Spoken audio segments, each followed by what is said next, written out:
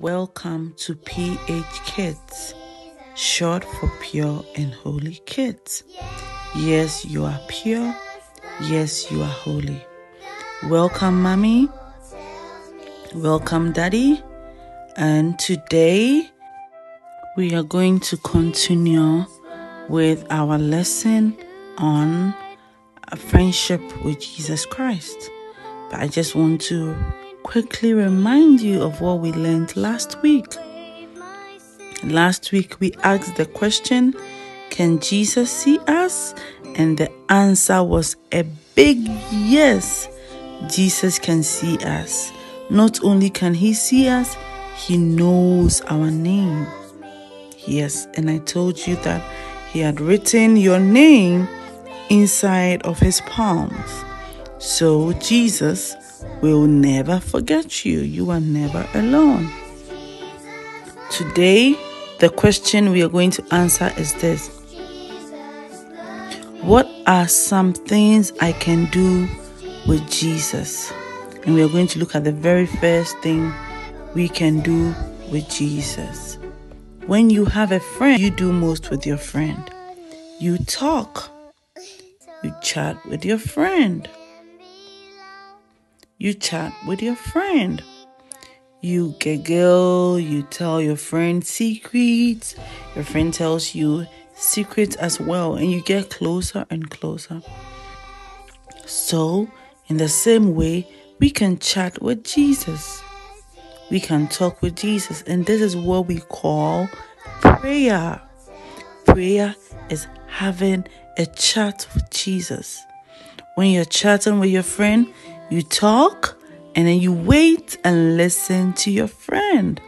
That's exactly what we do. When we are chatting with Jesus, we tell him what's on our hearts and he tells us what's on his heart as well. Okay.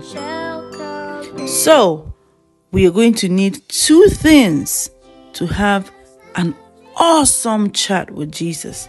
The first thing we need is faith. Say faith. I'm going to explain to you what faith is. Faith is knowing and believing that Jesus is with you. That is what faith is. Yes. So before you even open your mouth to talk with Jesus, your heart and your mind must already know and believe that Jesus is there. That is faith. Apostle Paul in the Bible explained this in 2 Corinthians chapter 13 verse 5. Mommy and daddy can help you look it up. Yes. So the first thing we need is faith. Jesus is our faith. So if you're wondering, hmm, how can I have faith? Knowing Jesus alone gives you faith. Knowing that Jesus is there, ready to answer you, gives you faith. Yes, that is faith. The second thing you would need to have an awesome chat with God, with Jesus, is a thankful heart. You have to have a thankful heart. You have to say thank you. The Bible says that we enter into his gates with thanksgiving. We enter into his courts with praise. You have to tell Jesus, ever since we became friends, I've been so happy. I've felt so much joy in my heart.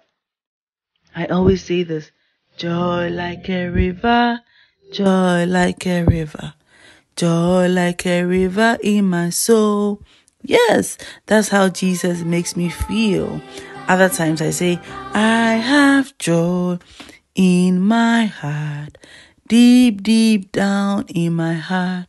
Jesus gave to me, yes, and no one can destroy it. I have joy in my heart, deep, deep down in my heart, yes. Jesus gave me that joy, and you also have joy in your heart. Okay, so now that we know the things we need to have a conversation with Jesus. Let's start. What do you want to talk about with Jesus? Hmm. Maybe you want a new shoe. Maybe you want Jesus to help mommy. Maybe you want Jesus to help grandma, grandpa. Someone is sick. You can pray for them. And when you finish, just keep quiet. Jesus will speak to your heart. And whatever he tells you, believe it. Okay? I want to give you some clues of people you can pray for, but you can pray for anybody. I call this the three P's. The first P stands for parents. Pray for mommy, pray for daddy. Tell Jesus to help them take care of you and your brothers and sisters. The second P Pray for your pastors, Sunday school teachers, or anybody that helps you understand the Bible. You can pray for me. You can pray for Auntie Esena.